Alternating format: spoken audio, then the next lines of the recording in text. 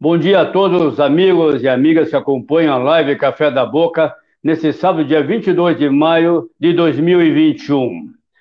A live Café da Boca, para quem não é de Curitiba, é uma versão online do Café da Boca Maldita de Curitiba, que fica na Rua 15, na Rua Luiz Xavier, que é também conhecido como Boca Maldita, carinhosamente por todo Curitiba. Ponto de encontro de jornalistas, políticos, professores, advogados, ativistas, para falar de todos e de todos.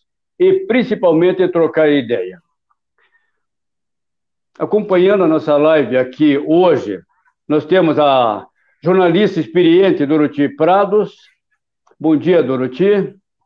Bom dia, Carlos. É um prazer estar aqui novamente é, para que nós possamos conversar com a vereadora Sargento Tânia e com a vereadora Indiara. É um prazer tê-las aqui, sejam bem-vindas. Exatamente. Nossa convidada especial de hoje é a Sargento Tânia Guerreiro, que tem se empenhado na luta contra a pedofilia, contra a pedofilia e vai falar hoje um pouco sobre esse assunto, esse tema muito importante, a conscientização, prevenção contra abuso de é, abuso infantil e também a vereadora Indiara Barbosa, que foi uma surpresa a última eleição, que conseguiu mais de 12 mil votos, a vereadora mais votada de Curitiba. Também nós vamos conversar. Bom dia, Tânia. Bom dia, Carlos. Bom dia, Doroti. Bom dia, Indiara. É um prazer estar com vocês. Obrigado pela oportunidade de trazer a gente aqui para falar um pouco sobre essa questão que é tão, tão difícil, né, de ser falada, tão dolorida, né, e que causa tanta, tantas cicatrizes, né, e, então eu agradeço pela oportunidade que vocês estão nos dando, não só oportunidade, né, para minha pessoa, mas para pais que precisam saber mais sobre isso. Bom dia, Indiara. Bom dia, Carlos. Bom dia, Doroti também. Bom dia a todos que estão nos acompanhando. A minha colega Tânia Guerreiro, que faz esse trabalho tão importante lá na Câmara de falar sobre esse assunto, né? Tão espinhoso, mas tão necessário. E é um prazer também estar com vocês, falando sobre o nosso trabalho, sobre os assuntos da cidade. Eu que agradeço o convite também. Bom, antes de iniciar a live de hoje, eu quero iniciar com uma frase filosófica de Immanuel Kant. Tudo que você não puder contar como fez, não o faça. Se há razão para não contar, há razão para não fazer. Interessante. Vamos pensar nisso. Pensamento profundo, né? É, na verdade, é uma abordagem bem ética né? Que eu acho que todos nós, não importa qual a profissão que exerçamos, né, devemos seguir praticamente ao pé da letra, né? Mas eu gostaria de começar conversando com a vereadora Tânia. A senhora tem 35 anos de polícia militar. E, pelo que entendi, desde o início da sua carreira, uma das áreas que a senhora te, se especializou foi justamente no combate à pedofilia. E não sei se eu entendi bem, a senhora é a única sargenta que, na, que é especialista nessa área? Sim, Doroti, é, eu sou a única militar do país, né, na área de, de pedofilia, especialista nessa área. Eu, é, eu entrei na polícia e logo fui para o serviço de inteligência, meu primeiro trabalho foi lá, e lá eu fiquei 20 anos trabalhando ali. E ali eh, nós começamos a trabalhar com crianças desaparecidas, porque eu não sei se vocês lembram, teve uma época que desaparecia muita criança no Paraná, ainda desaparece. Mas naquela época era, era um pouco um pouco pior, né? E daí é, nós começamos a trabalhar com isso e junto no pacote veio a pedofilia. Porque quando as crianças desapareciam, que a gente encontrava, a gente descobria o motivo pelo qual elas empreenderam fuga. Algumas eram levadas e a gente não conseguia trazer de volta. Nós temos muitos casos aí insolúveis, né? Mas nós tínhamos alguns que realmente eles saíam por opção. Quando eles tinham uma determinada idade, que eles já entendiam as coisas, porque infelizmente o abuso ele ocorre a, a maioria, a grande maioria dentro de casa, então, quando eles percebiam que aquilo não era só um carinho e sim uma agressão, né, quando eles já tinham contato com outros colegas que percebiam que os outros não recebiam aquele mesmo tipo de carinho, é, eles então fugiam de casa. E para trazê-los de volta dava muito trabalho, porque eles se recusavam a retornar para casa e nós não tínhamos muitas políticas públicas naquela época com relação ao abrigamento de crianças, conselhos tutelares, essa, é, essa coisa atuante que hoje nós temos um pouco mais, mas ainda está deficiente, né? Então, isso nos levou a trabalhar. E, posteriormente, nós fomos então, convidados. Só uma, uma coisa, eh, vereador. É, eu estou meio assustada com a sua colocação. A criança é, era, dentro de casa, digamos assim, agredida sexualmente, aí quando se trazia de volta, tinha que se entregar novamente nessa casa? Sim. Não, nós não tínhamos como, como fazer de outra forma, né? É, eu sou comissária de menor voluntária, então, é, sempre que possível, a gente visitava as famílias sem avisar para ver como é que estava. Eu me lembro de uma ocasião que eu trouxe uma criança de, de Itanhanhém, em São Paulo. Ela foi levada, mas ela, ela foi levada por um homem para para ela é, para manter relação sexual. Ela tinha, se não me falha a memória, nove anos na época. E na noite que ela foi estu é, ser estuprada, ela conseguiu fugir para as ruas. E lá é um lugar é, meio deserto, naquela época é praia, e, e a, as casas são é, de pessoas que mantêm fechada, mas algumas tinham os caseiros. E uma das caseiras recolheu esta menina e, e, ficou tempo com ela. E foi tão grave o que aconteceu com ela que ela, ela bloqueou na memória dela, ela perdeu um pouco a memória e ela não lembrava de onde ela tinha vindo. E como o nosso movimento nacional em defesa da criança desaparecida e vitimizada, nós é, é, divulgávamos muito, o Brasil todo sabia, nós fomos meio que pioneiro nesta área no Brasil, e então a moça de São Paulo procurou e encontrou o nosso telefone e nos ligou. E nós levamos assim em torno de dois meses tentando descobrir. Ela, ela sabia que ela vinha deste estado, mas ela não sabia informar nada. E daí, à medida que o tempo foi é, é, passando, ela lembrou do nome do bairro que ela morava e é aqui na nossa região metropolitana. Depois, mais tarde, ela lembrou que havia um comércio perto da casa dela onde estava escrito Brasil. E você imagina o trabalho nosso procurando de comércio em comércio, aquele tempo não tinha internet para a gente jogar no Google. Então, nós íamos e procurávamos é, no, no, bairro que ela mencionou. Em porta em porta. É, e, e também na, na, nas delegacias, né, ver se tinha algum registro daquela criança que havia desaparecido, e não tinha, não tinha, a mãe não se importou. E, e aí nós descobrimos, mais tarde ela descobriu que a mãe dela trabalhava em um, em um lugar onde ela trazia bolacha para casa, onde ela trazia pacotes de bolacha. Aí nós fomos até as fábricas de bolacha e conseguimos descobri, é, descobri ali um, um senhor que era avô dela, que trabalhava ali, e que a mãe também trabalhou através do avô, nós soubemos o nome da mãe. Aí localizamos, é, com a, a, a, informação do avô, localizamos a mãe e fomos atrás dela e depois fomos com a mãe juntas trazer ela para de volta para Curitiba. E, e, ela não queria voltar, porque a mãe, ela costumeiramente trazia, eh, tinha assim um rodízio de padrastos ali na casa, e ela era molestada, era um barraco, né? Era uma comunidade, era um barraco, e nesse barraco é, só tinha dois cômodos, né? A cozinha e o quarto, que era separado por uma cortina, então eles dormiam que ali todos juntos. Então, e a então, criança foi, foi entregue à mãe. Foi.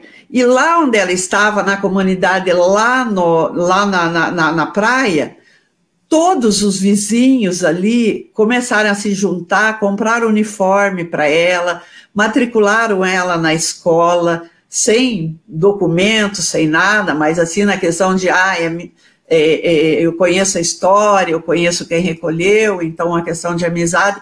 E ela já estava estudando, ela tinha brinquedos, ela tinha amigos, era praia, e, e ela estava muito feliz lá, muito feliz lá talvez é, ela, ela não disse, mas talvez houvesse mais alguma coisa ali com a mãe e ela, né?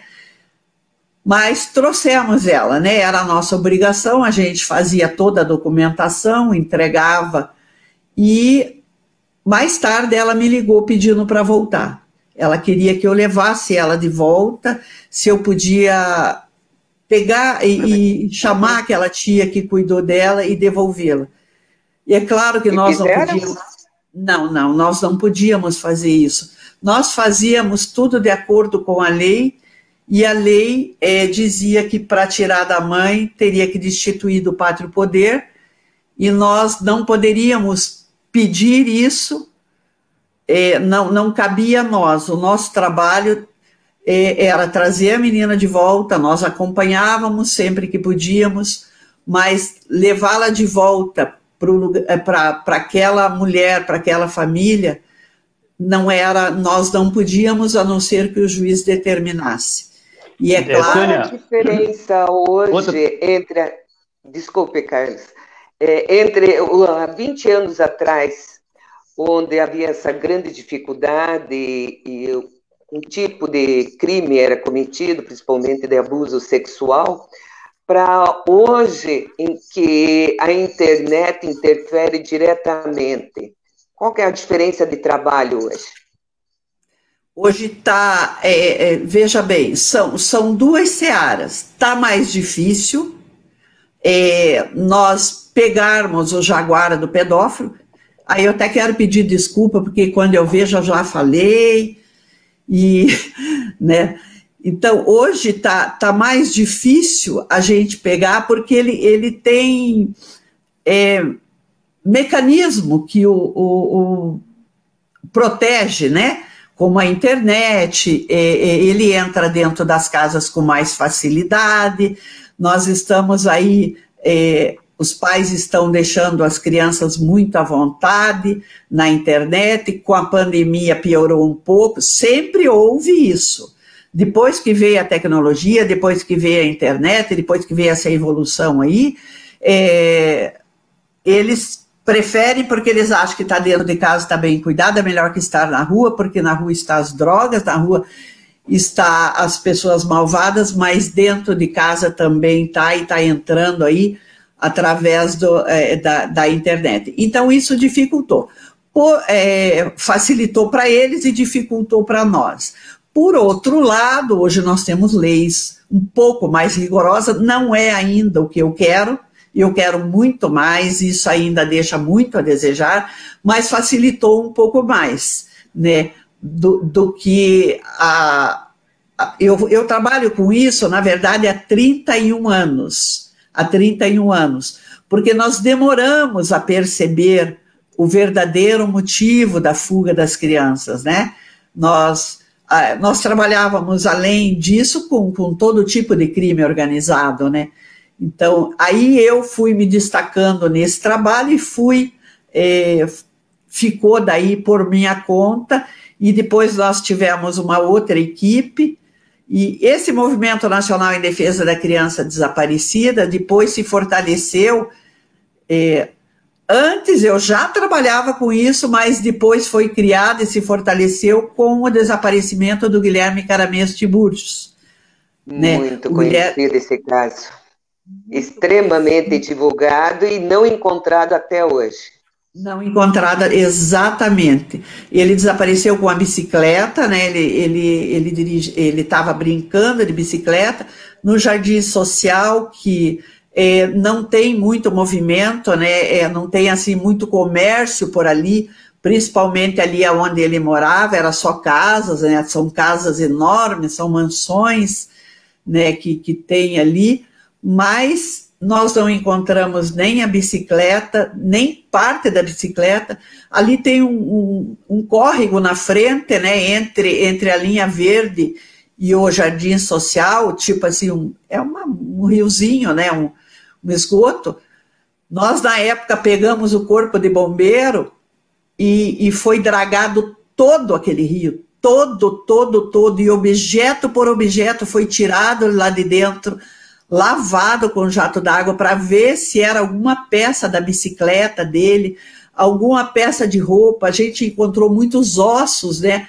Mas era ossos de animais, ossos, mas a gente sem capacidade para saber, né, se aquilo ali era de uma criança ou não, dependendo do tamanho, né?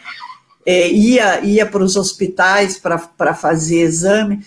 Então foi um trabalho minucioso depois encontramos também um terreno baldio que tinha um poço, e daí também foi esgotado esse poço e foi limpado tudo que tinha dentro, todos os objetos, porque os vizinhos jogavam muito lixo ali dentro daquele poço, e a gente dragou tudo e, e limpou tudo e tirou objeto por objeto para pesquisar, para ver se aquilo pertencia a uma peça de bicicleta do menino ou é, uma peça de roupa ou mesmo pedaço né, de, de osso, alguma coisa assim. Então foi um trabalho muito intenso, mas que infelizmente não trouxe pista. Infelizmente por um lado, felizmente por outro, porque se encontrasse um pedaço ali, né, significava que ele tinha sido executado ali. Então nós, além dele, nós tivemos vários outros. Oi, pois não. Não querendo cortar você, Tânia, só para continuar, pegar o gancho, esse caso ali do Guilherme, eu lembro que a, a mídia toda divulgou e acompanhamos, é, uma, é até controverso, porque há muitos casos que as crianças são levadas para o exterior, né, para famílias que não tinham filhos, e outros casos até de é, tráfico de órgãos sabe lá como se faziam.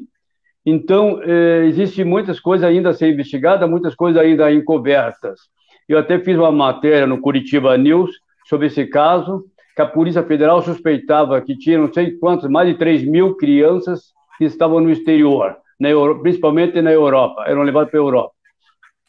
E criou até na época é, bastante digamos, eh, comentário sobre essa matéria que eu fiz com base nos dados da Polícia Federal. Agora, a pergunta que eu quero fazer é, Tânia, você que está há muito tempo nessa luta, e quando se fala em pedofilia, pedofilia a gente já associa a pobre, a, a vila, mas é, a pedofilia ela está em todas as partes, em todos os níveis social. Tanto é que nesse caso, quando houve o caso da Raquel Genofre, e eu lembro que a polícia pesquisou, eh, investigou mais de 100 suspeitos. E no meio, entre esses suspeitos, tinha, inclusive, político, eh, gente bacana, que tinha dados eh, no seu, no, nos seus computadores, ou de alguma outra forma, a polícia conseguiu chegar em vários suspeitos.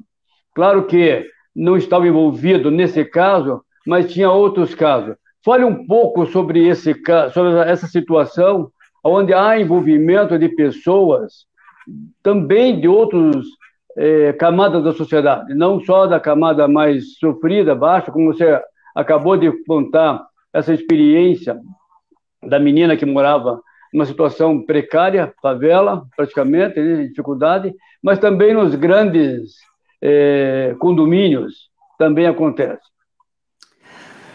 Então, Carlos, eu trabalhei no caso da Raquel Genofre e, e na época, eu me lembro, e naquela época, é, quando desaparecia uma criança, se levava 24 ou 48 horas para a polícia fazer o boletim de ocorrência e começar a trabalhar no caso, o que era um erro enorme, enorme. Mas depois de algum tempo, é, foi criada uma lei, que é a lei da busca imediata ao desaparecido. Então, hoje, a criança. É, e, e, e, por outro lado, nunca esteve escrito em lugar nenhum que tinha que esperar 24 ou 48 horas. Eles inventavam isso, meio que criaram isso, porque eles achavam, ah, deve estar em um vizinho, deve estar em outro lugar. Mas não. É, em 24 ou 48 horas a criança sai do país. Mas, é, no caso Raquel Genofre, eu trabalhei na época, como eu disse, e eu, é, nas minhas investigações e na experiência que eu já tinha na época de trabalhar com criança desaparecida e crime de pedofilia, eu disse que o agressor já tinha tido contato com aquela criança antes.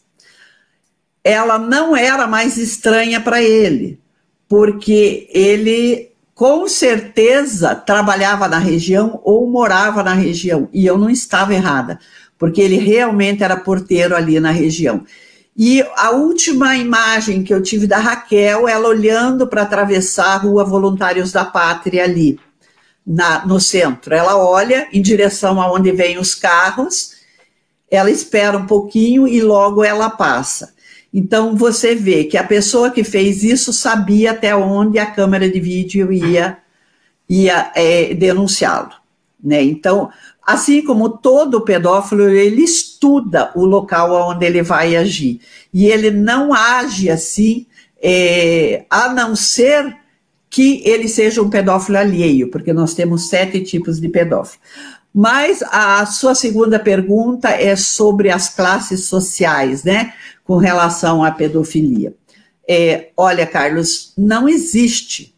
Não existe. O que existe e que eu tenho notado ao longo desses anos é um número maior de denúncia de pessoas com menor poder aquisitivo, por conta de ter que levar essa criança em, um, uma UPA, é, quando ela está machucada, em um, em um, hospital público, e lá sempre tem o plantão, sempre tem ou a guarda municipal ou a polícia militar, que ela é acionada imediatamente, e daí é, é feito toda aquela investigação. Porque no, nos casos de pessoas com mais poder aquisitivo, eles têm o médico particular, o psicólogo particular, e eles mantêm ali um segredo né, já tradicional da família, porque aquele, aquele médico foi médico do pai, foi médico da mãe, foi é um médico que é pago e muito bem pago, né? Então é, eles mantêm o segredo e aquela família, por sua vez, não denuncia porque senão o nome tradicional deles vai ficar né, aí sendo comentado na mídia, nas redes sociais. E outro motivo. As... Por favor, conclua. Conclua. E as, as casas são mais distantes uma das outras. E isso dificulta a denúncia de vizinhos, né? Porque as outras são mais amontoadas, são mais próximas. Por exemplo, um apartamento por andar, ou ah, o meu apartamento, por exemplo, é quatro no, no andar, então é, a, qualquer coisa que acontece aqui, o vizinho né, já vai saber, assim como é, nas casas, nos bairros, né? Então, daí não só a denúncia vem por parte né, do, lá da, da, da, da equipe médica, ó, oh, meu gato resolveu também aparecer na live, o gato da minha filha, é, não só na, na né, o pessoal da equipe médica, mas também os vizinhos. E com a campanha que nós fazemos com relação a denuncie, você não precisa se identificar, pode ser anônimo, e agora vai ser criado também um outro aplicativo que a Damares é, criou pelo ministério dela, e nós vamos também é, trazer aqui para o Paraná. Então, Qual é esse aplicativo? aí é facilita. Facilita. Qual, vai ser. Como é esse aplicativo? Esse aplicativo nós vamos lançar nas próximas semanas, né? É, a gente vai ver se ela vem para fazer esse lançamento, né? Vai facilitar bastante, vai ser o, o um, vai, vai ter pessoas de plantão. Já melhorou muito com a Damares lá, porque ela está com uma equipe muito boa, com pessoas que a gente conhece e que vai é, estar melhorando eu estive com ela essa semana no Rio de Janeiro e, e ela falou da, da melhora que eles estão fazendo e que vem novidades por aí para proteger essas crianças. Nós estamos aguardando, ela vai trazer esse aplicativo para nós. É, daqui umas três semanas, pelo que eu entendi. Mas, vereadora, o maior problema, como a senhora colocou, é o problema de quem é que faz a denúncia? Sempre tem que se aguardar que algum vizinho viu ou que algum conhecido viu ou numa situação mais grave que exige atendimento médico, que esse médico denuncie. Muito bem. A minha tem, pergunta tem mais é, pessoas, Doroti. Só, só, só fazendo uma colocação, né?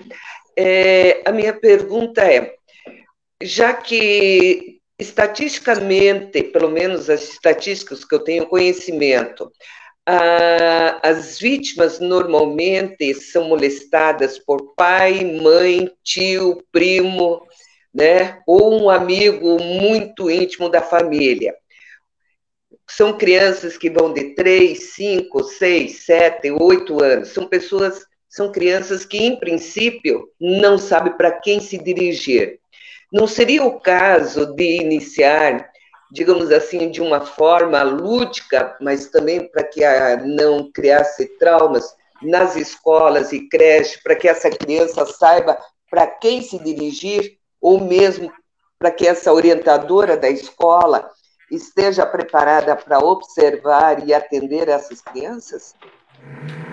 Logo Sim. depois da, da resposta da, da Tânia, vamos ouvir também a Indiana fazer a pergunta. O cara está aqui participando conosco e tenho certeza que ela também tem pergunta para a Tânia. É, pois é, e, e, até, até se eu puder, também posso contribuir um pouco assim com o debate. Eu, sei, eu não sou. Eu, eu não sou. Não, não, é... Mas é que eu entendi que não queria falar nesse assunto, mas eu amaria ouvi-la também não, sobre isso. Eu falo que eu não sou uma especialista, né? Não sou uma especialista como a Tânia, de jeito nenhum, mas eu também já, já participei de situações, já vivi isso, né? E eu, eu falo assim, né? As crianças, muitas vezes, elas pedem, a, a Tânia vai confirmar, eu acho, mas elas pedem socorro de alguma forma, né? Eu já, já vi situações que elas recorrem às professoras, a gente tem falado muito isso até nesse momento, com relação à volta às aulas. Então, as nossas crianças estão aí no segundo ano, longe das escolas, e a escola é um lugar onde as crianças podem pedir ajuda para as professoras. Existe até é, um, um trabalho com as próprias professoras para que elas identifiquem essas situações às vezes na igreja, né? Então a, a criança às vezes que, que frequenta uma comunidade, ela pede socorro para alguém na igreja, para os vizinhos, né? Eu acho que esse assunto é muito importante que a gente fale sobre ele cada vez mais, para quando acontecer a gente esteja preparado para é, ir para o lugar correto, né? Para seguir o, o, lugar correto. E como a Tânia falou, caso a gente desconfie de alguma situação, a gente mesmo, às vezes, estando de fora, faça denúncia, né? Eu, eu falo assim, a questão de violência contra a mulher, que também é um, né, um assunto importante. Eu já passei por situações de que eu não sabia o que fazer, né? Presenciei, ouvi, enfim, do lado de casa, e não sabia o que fazer e não cheguei a denunciar. E depois, de tanto a gente vê na TV, de tanto se falar sobre o assunto, e a gente se conscientizar de que a gente pode agir, de que a gente pode denunciar, de que a gente pode prevenir um crime, a gente é, também interfere nisso e fala sobre isso, né, Tânia? Acho que por isso a importância da gente estar conversando sobre, sobre esse assunto. Exatamente, é esse meu berro de socorro. Quanto mais a gente fala, quanto mais a gente grita, alguém ouve. Agora, é, é, a, a pergunta da, da, da Doroti, importantíssima, Doroti. É, nós contamos e a esperança está está na escola. Um dos projetos de lei nosso é para capacitação, né, Indiara? Eu fiz esse projeto de lei para capacitação de todos os professores, não só professores, mas toda a equipe pedagógica. E, e, não só a equipe pedagógica, mas a tia da limpeza, a tia que serve a merenda, a tia que cuida do portão, ela vai perceber o, a mudança de comportamento, porque nas minhas palestras, na, na, minha capacitação, eu ensino até o olhar da criança, o andar da criança, o sentar dela, a participação dela na escola, a maneira que ela come a merenda, quantas vezes ela vai no banheiro. E esta criança não fala que está sendo abusada, é muito raro. Quando ela fala, ou é para uma amiguinha, que se essa amiguinha tiver preparada, ela pode contar para a mãe dela, mas ela pede socorro no comportamento. O lugar, tudo, tudo no comportamento, no desenho que ela faz. E, é, esse nosso projeto de lei é para tentar minimizar um pouco, diminuir um pouco esse número, capacitando esses mestres, esses professores, que é a esperança da criança. Sabe por que, Doroti, Carlos e Indiara? 90% das mães são coniventes. 90% delas sabem.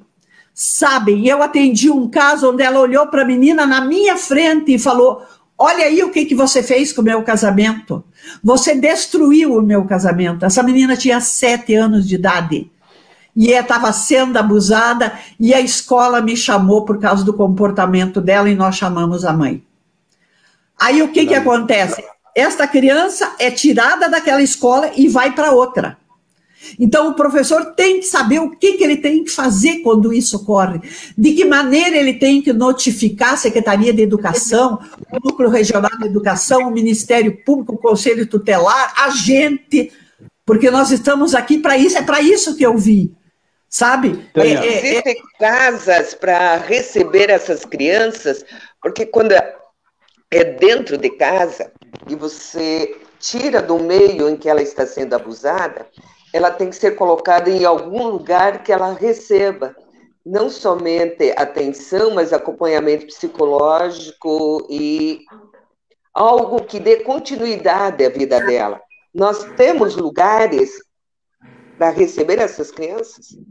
Nós temos lugares. É, essa semana foi abrigada três crianças. A mais nova tinha cinco anos, três irmãos.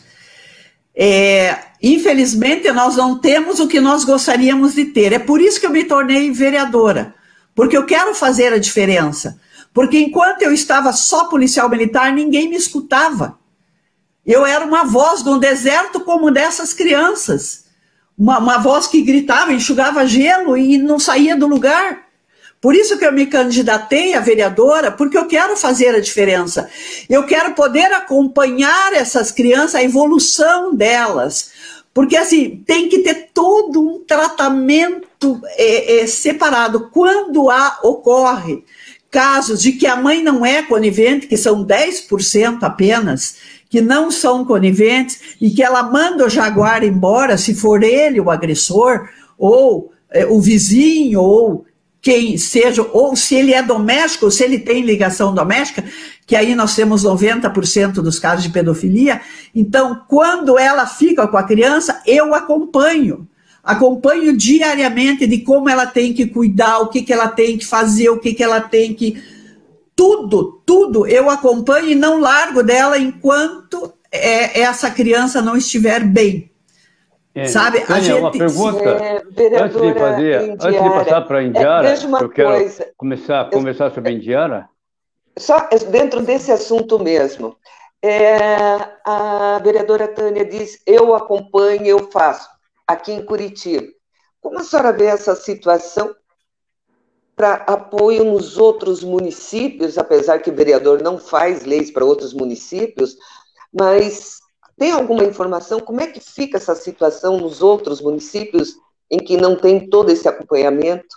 O que poderia ser feito? Não, na verdade, eu trabalho no país todo, eu acompanho o caso de pedofilia no Brasil todo Brasil e fora todo. do Brasil.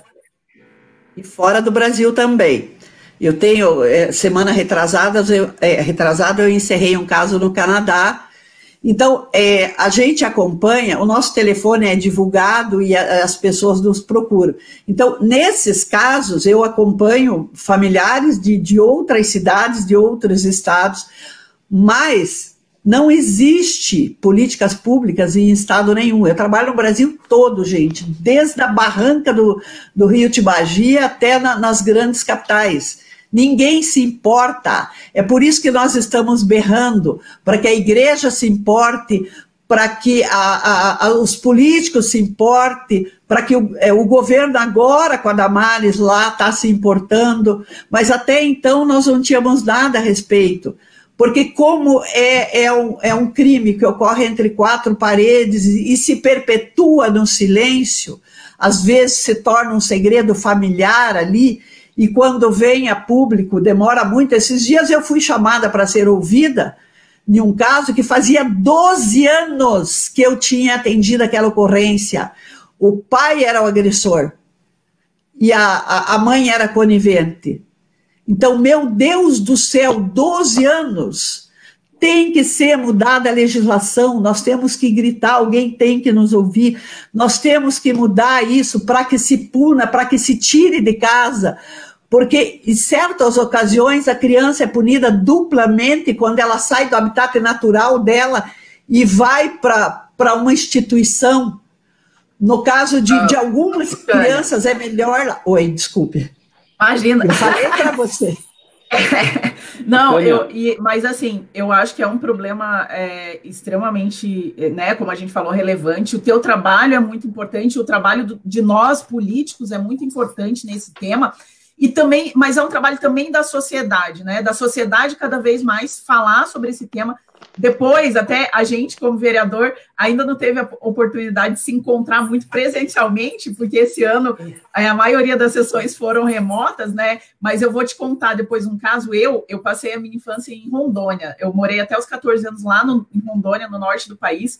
E, e, já, já passei, né? É, já conheci famílias que se envolveram com casos bem também desse estilo aí que você conta, bem escabrosos, assim. Mas e eu vejo assim como é, que a, a sociedade também se organiza e se junta para resolver esses problemas. Então, já presenciei situações que, por exemplo, uma situação que uma criança passou por isso, ela pediu primeiro socorro na igreja, ela falou, e aí pediu para sair de casa, e aí é, outras pessoas acolheram e ela foi adotada por outra família, ela saiu da, da, da casa, né? É, então, assim, a, a, sociedade se organiza, e eu, por isso que eu acho que mais, né, a, a, é importante o teu papel na Câmara, falando sobre esse assunto.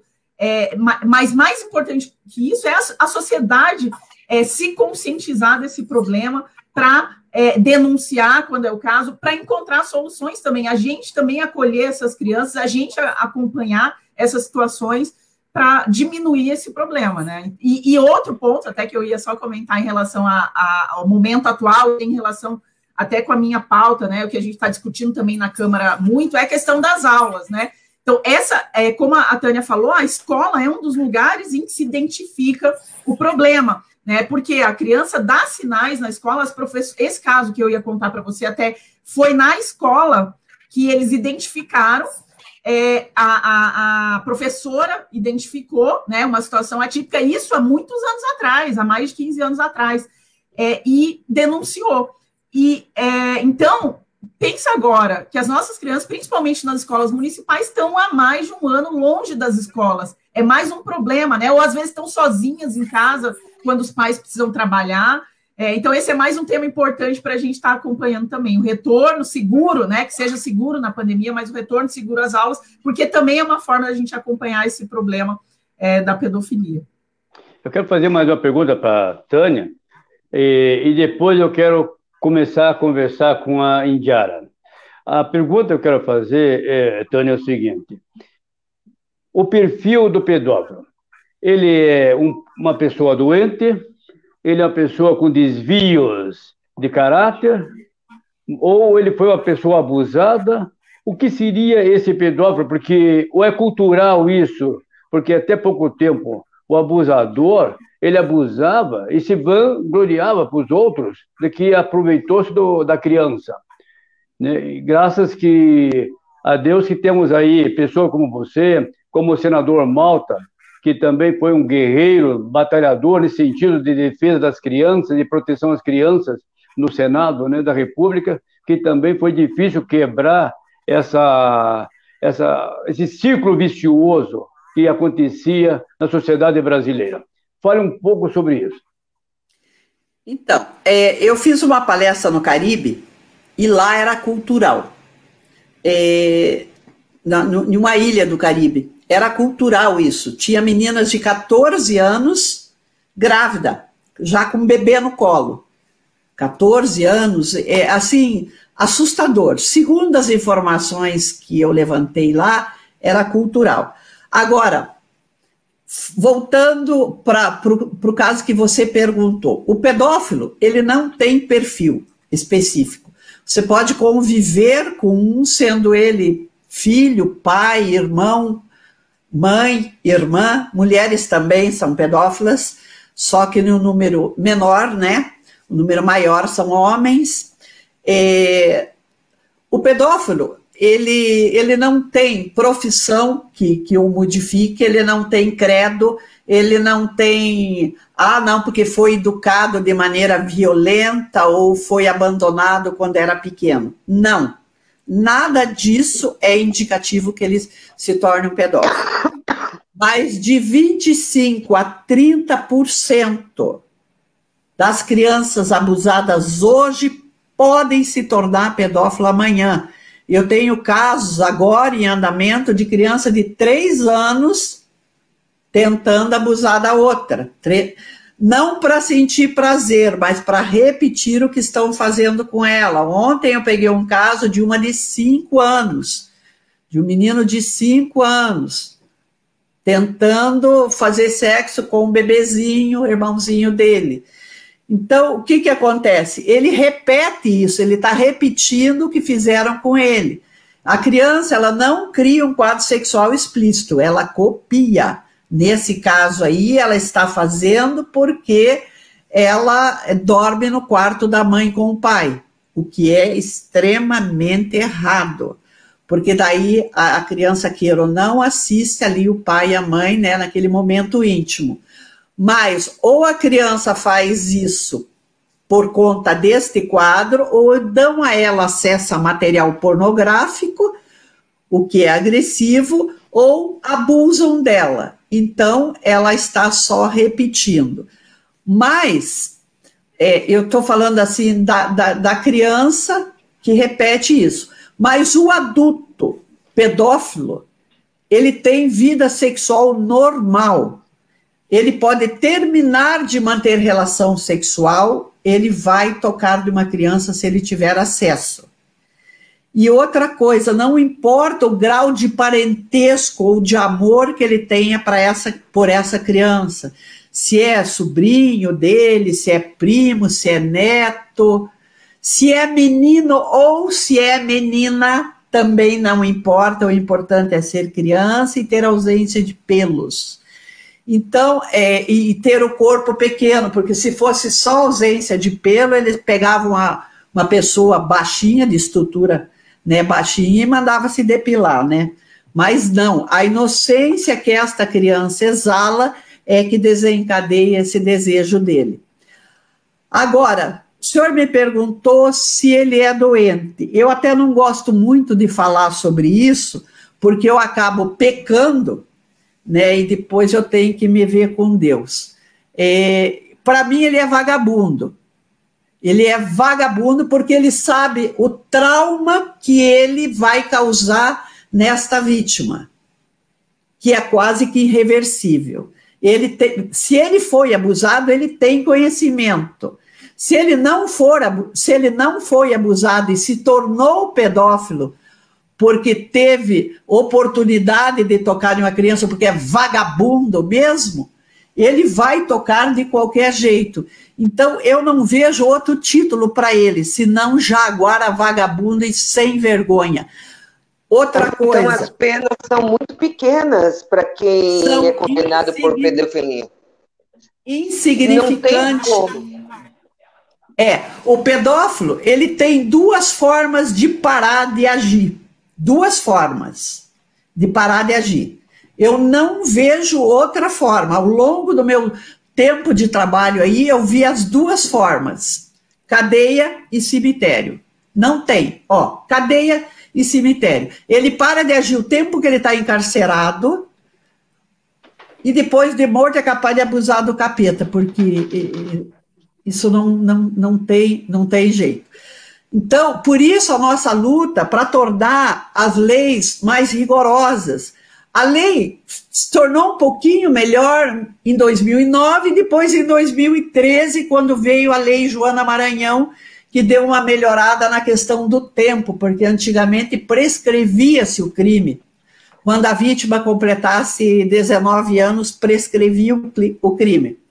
Aí, com a lei Joana Maranhão, hoje ela pode denunciar até 20 anos após ela completar 18, né? Então, até os 38 anos.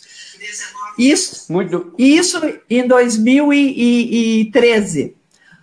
Mas o Código Penal sofreu uma mudancinha em 2009, mas não é o que eu queria.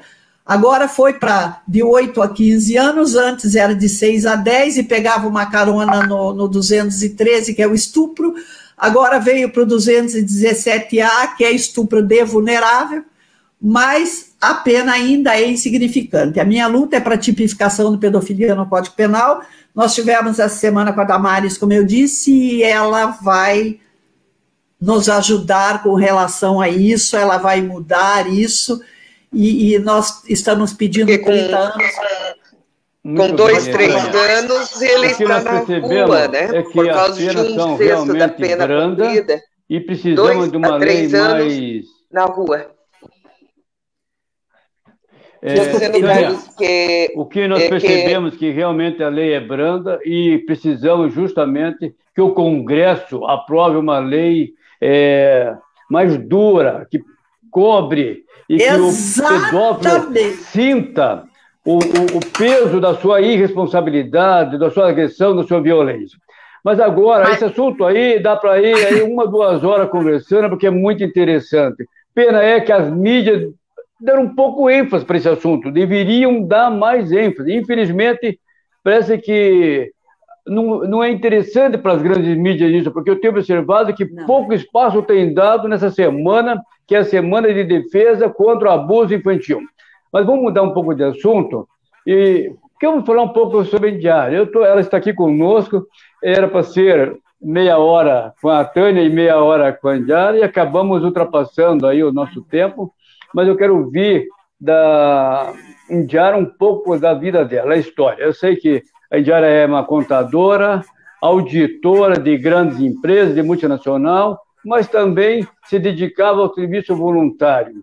Eu quero ouvir um pouco dela, conhecer um pouco a Indiara, o que foi o, o grande, a estratégia dela para surpreender toda com essa votação magnífica de mais de 30 mil votos. Com você, Indiara. Obrigada, Carlos. É, mas realmente a gente estava tendo uma aula aqui com a Tânia e eu concordo que esse tema é, que a gente falou até agora é muito importante. E até complemento, acho que além das leis, o que a gente precisa também é justiça, né? Porque a justiça no nosso país é muito lenta e pouco efetiva, né? Não adianta só a lei se ela não for cumprida, né? Então a gente também vai vai estar tá falando, é, vai estar tá trabalhando é, para isso, né? Então, falando um pouquinho sobre mim agora, e, e, até assim, enquanto a Tânia falava, eu também refletia, né? E eu falo que uma, um dos motivos que me levou também para a política foi esse, assim, de querer é, melhorar a sociedade e querer que outras crianças e que outras pessoas tenham oportunidades como a que eu tive. Né? Eu falo que eu, eu de vez em quando eu cito um documentário que se chama assim Nunca Me Sonharam, que ele fala sobre crianças que os pais nunca, nunca sonharam, né? Crianças muito pobres, enfim, que não tiveram oportunidades e que nunca é, planejaram a vida, nunca pensaram sobre o futuro, né? E, e graças a Deus, eu, é, a minha mãe é, sempre investiu muito na gente, minha mãe, meu pai, na nossa educação e é, sonhou, né? Sonhou que um dia eu ia fazer uma faculdade, trabalhou a vida inteira para que a gente tivesse um futuro é, brilhante, né? Enfim, que a gente tivesse um futuro. E quando eu vejo assim é, esse tipo de criança, né? Esse tipo de história que a, a mãe não está nem aí, é, que, que, prejudica a criança ou que, enfim, não, nunca planejou o futuro, é, eu penso nisso, que a gente também quer que as crianças tenham mais oportunidades, né? Isso, isso foi uma das coisas que me motivou a entrar na política também. É, como você falou, eu sou, eu sou formada em administração e contabilidade, sou auditora contábil, trabalhei durante 13 anos em uma empresa multinacional de auditoria, fazendo auditoria em grandes empresas, em outros países também, viajando e tudo. E, mas, por outro lado, sempre fiz também trabalho voluntário, então já atuei bastante na igreja, é, no movimento escoteiro, já fui escoteira, é, e na própria empresa, a gente também tinha uma área de responsabilidade corporativa que a gente fazia cursos para jovens em duas comunidades carentes aqui em Curitiba, cursos de finanças pessoais. É um tema que eu gosto muito, finanças, e acho que as crianças também não, não aprendem né, como cuidar do próprio dinheiro, e fiz vários trabalhos nessa linha. E aí eu tinha essa vontade, poxa, um dia eu quero entrar para a política, eu acho que a política é uma forma de contribuir para a sociedade, ajudar as pessoas de forma mais significativa e, é, e vendo cenários que a gente tem, né? Eu, eu falava assim, poxa, esses, esses, caras, muitos dos que estão lá não me representam, é, mas não adianta só reclamar. Se a gente acha que pode mudar, que pode melhorar e fazer diferente, a gente precisa se envolver. É, e eu falo, né? Eu brinco, tirar os, os que não estão bons, os que estão roubando de lá e colocar gente honesta. Eu acho que esse é um dos nossos papéis também, né? Mostrar que dá para fazer política séria de forma diferente para que a gente consiga melhorar realmente a cidade, o país. É, foi isso que me Vereadora, motivou. É, uma, um dos pontos principais da sua campanha, e pareceu-me que também um dos principais objetivos seu, foi uma frase que está impressa, inclusive foi divulgada, de que há excesso de leis e a senhora pretendia reduzir o número dessas leis porque muitas são extremamente inúteis. Nesse curto período, conseguiu derrubar alguma lei ou eliminar uh, na Câmara? Estamos trabalhando para isso, tá? Então, assim, a, a gente fala, é, os meus dois principais focos de campanha, um é fiscalização, fiscalização da prefeitura, que é um dos principais papéis do vereador, e o outro é empreendedorismo, é, melhorar o ambiente de negócios. E aí entra isso das leis, né? Hoje a gente tem muita lei, a gente acha que vai resolver o problema com a lei, por isso que eu falei que não adianta só ter a lei, né? Precisa ser cumprida, né? Ser efetiva. E a gente tem lei para o empreendedor, para o comerciante, para as pessoas que mais atrapalham do que ajudam, que são as leis inúteis, leis obsoletas. Então, o nosso trabalho nessa área se resume em dois. Um é tentar é, não deixar passar e votar contra leis que a gente acha que vão mais atrapalhar do que ajudar, e o outro é revogar leis inúteis. Então, já existe na Câmara uma, uma lei que busca revogar mais de 3 mil leis, e, é, isso é uma lei de um outro vereador da legislatura passada, então, a gente tá, vai estar tá presente nessa comissão dele para é, juntos fazer essa revogação e até trazer mais leis que a gente também já mapeou, além dessas 3 mil. Essas 3 mil são leis mais obsoletas, sabe? Que não, que não tem sentido nenhum mais, que às vezes fala sobre uma coisa que nem existe mais. E é trazer mais leis, mais leis inúteis que podem sim ser revogadas. A gente pretende trabalhar bastante nessa parte da desburocratização. É, o, a gente sabe, é conhecido né, que no Brasil o empreendedor encontra muita dificuldade para empreender, seja para abrir uma empresa, seja para manter. É muita burocracia, muita regra. E o que a gente quer é justamente mapear o que, que mais atrapalha a vida do empreendedor, as leis, os procedimentos, as regras, para que a gente consiga simplificar isso. Então, essa é uma frente que a gente está trabalhando fortemente na Câmara já. De concreto, ainda não, ainda foi pouco tempo, são cinco meses, né, quase cinco meses de mandato, mas a gente já está nessa comissão e a gente está lá todo dia falando contra as leis que mais atrapalham do que ajudam. Fala um Falando em atrapalhar esse decreto do prefeito, não está atrapalhando os supermercados, o comércio, os bares, restaurantes? Muita gente fechando, muita gente abrindo falência? O Com que, é certeza. que os vereadores estão fazendo para impedir que o prefeito continue agindo assim?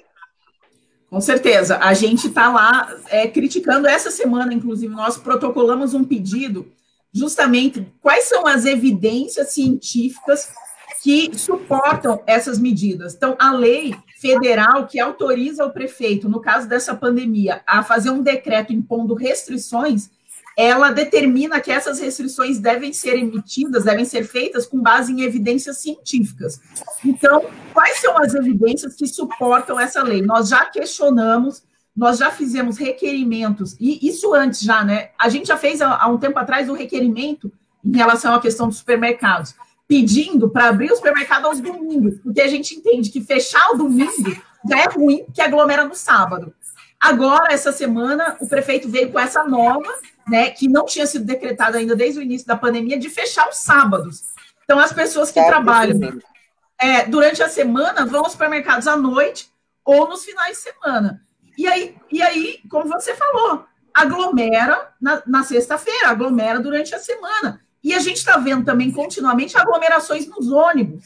Então, por um lado, você impõe restrições severas às pessoas de poder trabalhar, de poder é, abrir o seu comércio e poder ganhar o seu dinheiro para o sustento da sua família, e restrições a, a, a gente, né, de ir no supermercado, de aglomer... você impõe que a gente aglomere num dia para não aglomerar no outro, é, e, as pessoas se aglomerando nos ônibus, não tem lógica, né? Então a gente está a, a Tânia está acompanhando aí, a gente está continuamente batendo nesse Tânia, é, vereador, o que, que a senhora pensa desse fechamento do sábado e domingo?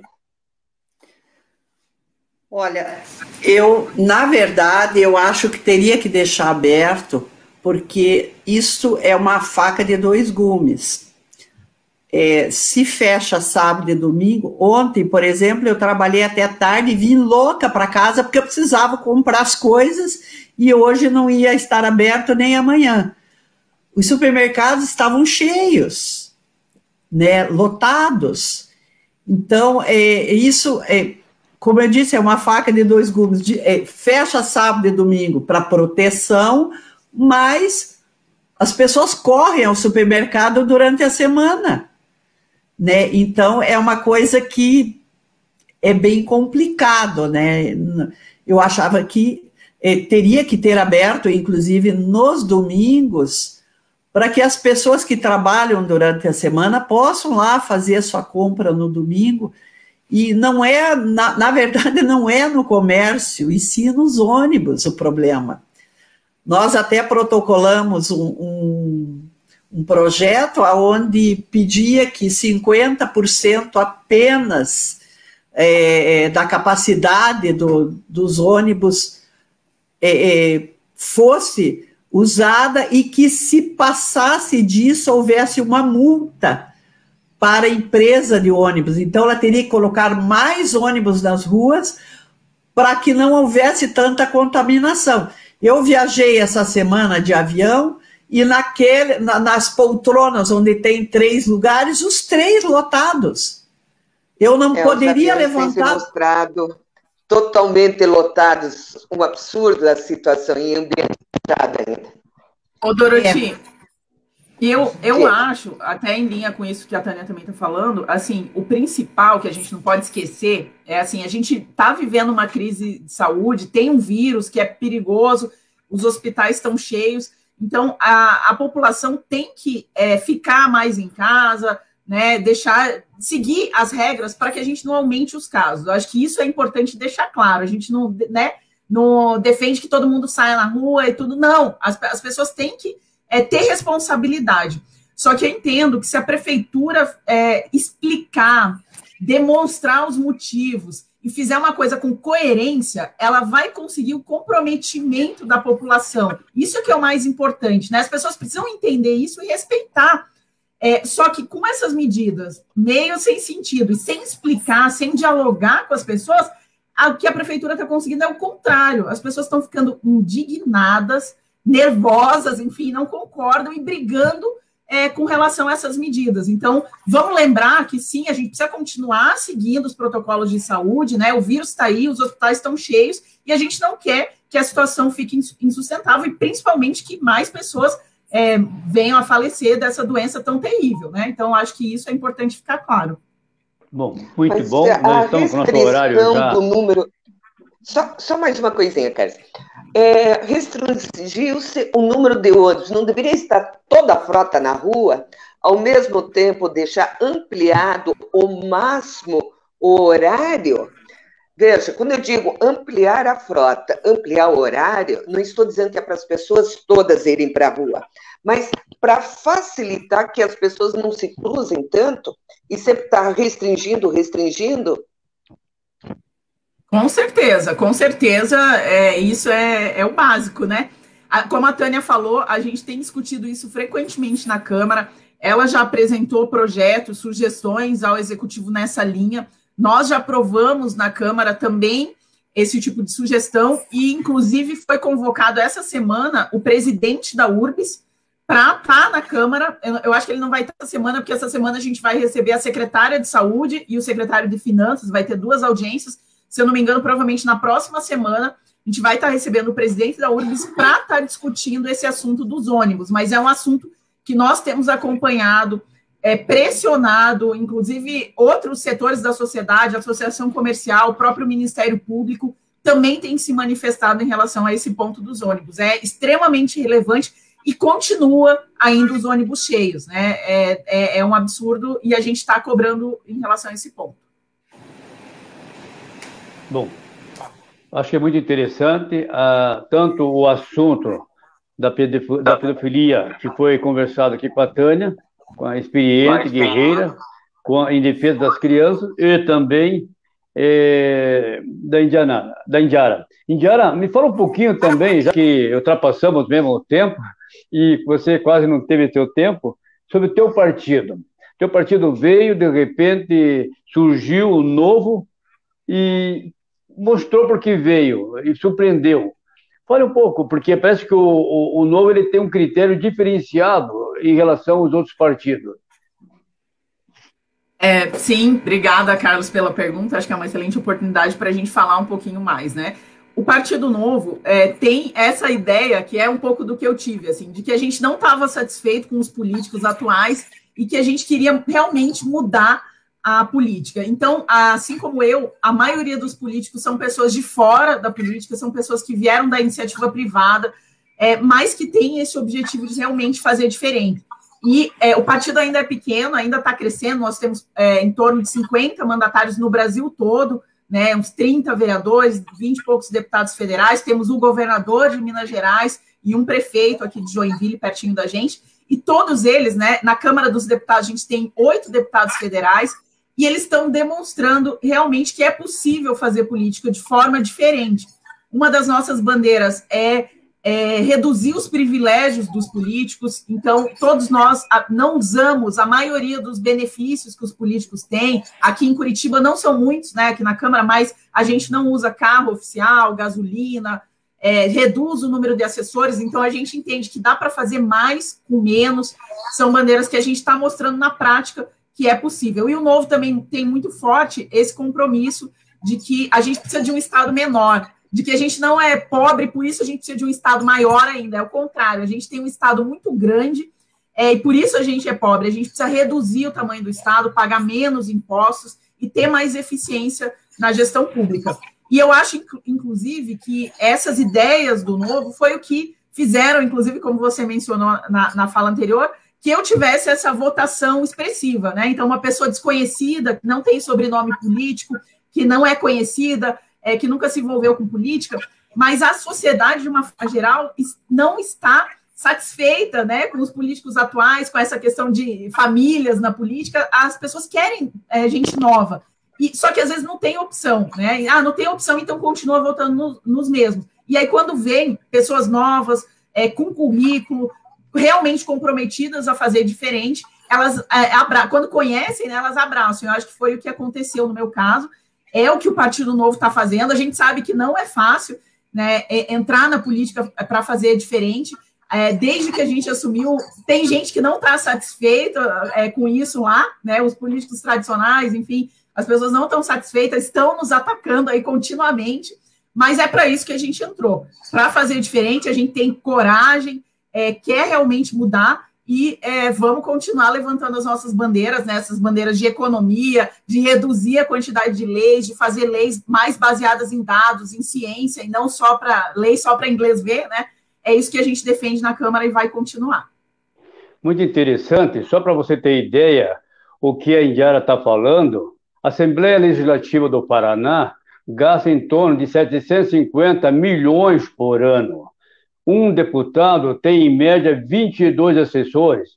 E tem deputado lá dentro que tem comissões que chega a ter 53 assessores quando acho que sete seria o ideal. Um, né? No entanto, são cabos eleitorais que são abrigados dentro de gabinete, muitas das vezes nem estão no gabinete, são fantasmas, recebendo salários exuberantes de 15, 20, 30 mil reais por mês. Então, dentro disso que você falou, um deputado é, do Novo, hoje, tem que, em média, é, de assessores, Certo. É, então, é exatamente o que você falou, exatamente essas coisas que nós é, somos contra, né? Aqui em Curitiba, falando um pouco da Câmara, né, já é um número até reduzido em relação a outras câmaras do Brasil. Tem Câmara em Rio de Janeiro, Salvador, que um vereador pode ter 30, 20, 30 assessores. Aqui em Curitiba, um vereador pode ter sete na Câmara. Nós, eu e a outra vereadora do Novo, que também foi eleita, nós temos é, cinco, cinco a seis, né? É, a gente tem cinco cada uma e mais uma que atende as duas, então a gente já reduz os cargos. A maioria dos vereadores, deputados do Novo também tem um número bem reduzido, né? Varia dependendo da Câmara, mais sete, no máximo dez assessores.